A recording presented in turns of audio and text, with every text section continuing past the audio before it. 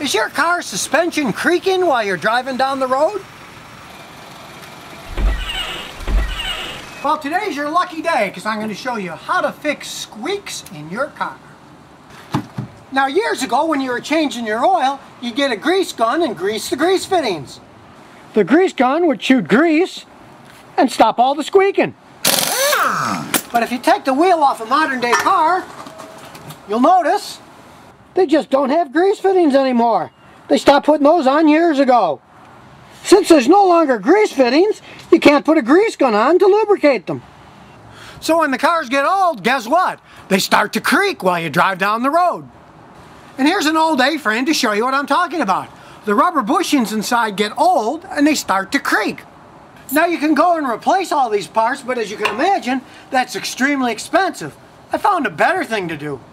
There's a product out there called AT205 Reseal, and here's how it works.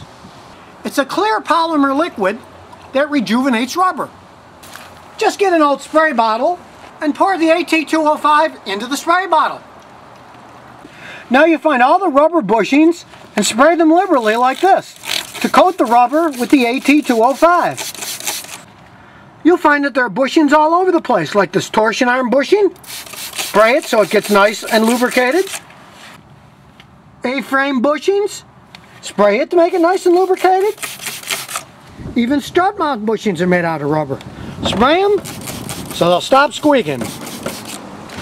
Now I know some people are saying, hey, I could just spray it with WD-40. But hey, the WD-40 will wash off when it rains. But the AT205 is a polymer. It actually soaks into the rubber and rejuvenates it. So when it rains, it won't wash off because it's soaked into the rubber.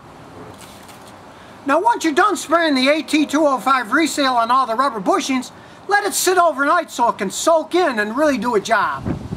Then when you're done, you can drive down the road without that annoying squeak. Thanks to a little spray.